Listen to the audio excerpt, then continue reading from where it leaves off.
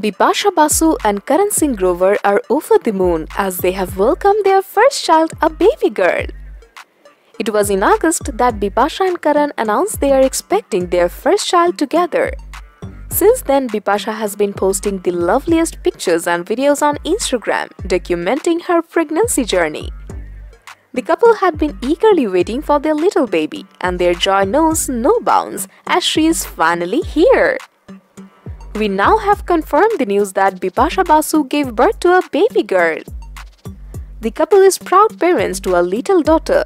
Bipasha, who has been sharing some fun reels throughout her pregnancy, had posted a video with the caption, Baby on the way. The video showed Bipasha and Karan grooving goofily to a song, and in her caption, she wrote, can barely move nor groove anymore.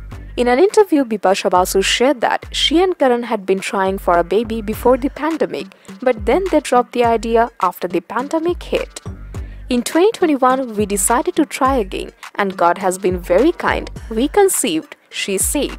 Bipasha Basu and Karan Singh Grover broke the news of the actress's pregnancy in August this year by sharing a stunning picture from her maternity photoshoot.